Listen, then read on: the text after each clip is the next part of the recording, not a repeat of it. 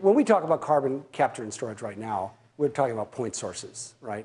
Going, going to uh, you know, power plants, going to refineries, um, you know, going to cement factories, going wherever carbon is produced intensively, capturing that carbon and sequestering it. So uh, many of you have seen this slide and know that there are a variety of geologic environments in which sequestration is now being evaluated. Uh, for example, saline aquifers, um, depleted oil and gas reservoirs. So I'm going to focus mostly on, on, on shale gas because it's, it's the new player. In fact, I call 2008 the year of shale, shale madness.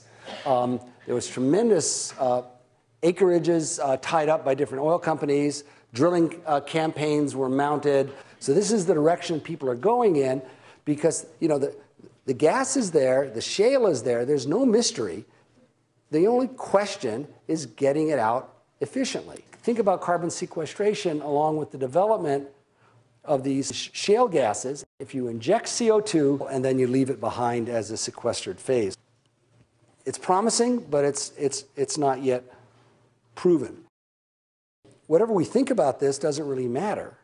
Uh, unconventional gas production is, is going to happen. The resource is too big. It's domestic. It's uh, plugged into the existing pipelines. It's clean as compared to alternatives.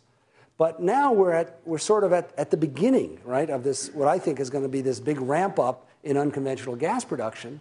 And so why not um, look at carbon sequestration and uh, enhanced recovery simultaneously as a way to try to do it right from the outset.